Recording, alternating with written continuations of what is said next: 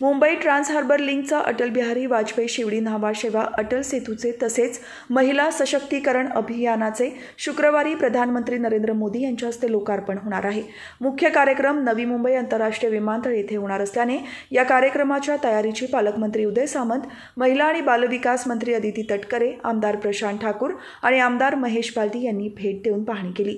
यावेळी पालकमंत्री उदय सामंत यांनी व्यासपीठ सभामंडप लोकप्रतिनिधींची आणि मान्यवर यांची बैठक व्यवस्था त्याचबरोबर येण्या जाण्याचा मार्ग बैठक व्यवस्था महिलांची बैठक व्यवस्था आरोग्य व्यवस्था पोलीस बंदोबस्त वाहतुकीचे नियोजन या व्यवस्थेचा आढावा घेतला.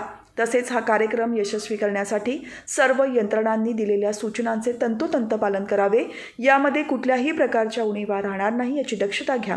कार्यक्रमासाठी येणाऱ्या नागरिकांना कुठल्याही प्रकारचा त्रास होणार नाही. याकडे विशेष लक्ष द्यावे. महिलांना कार्यक्रमस्थळी येताना त्यांची कोणतीही गैरसोय होणार नाही याची दक्षता घ्यावी. वाहनतळ ते कार्यक्रम स्थळावरील मार्गावर वाहतुकीचे नियोजन व्यवस्थित करण्याबाबतही त्यांनी सूचना केली. यावेळी विभागीय आयुक्त महेंद्र कल्याणकर जिल्हाधिकारी डॉक्टर योगेश म्हसे पनवेल महापालिकेचे आयुक्त गणेश देशमुख भाजपचे उत्तर रायगड जिल्हाध्यक्ष अविनाश कोळी यांच्यासह विविध विभाग प्रमुख उपस्थित होते.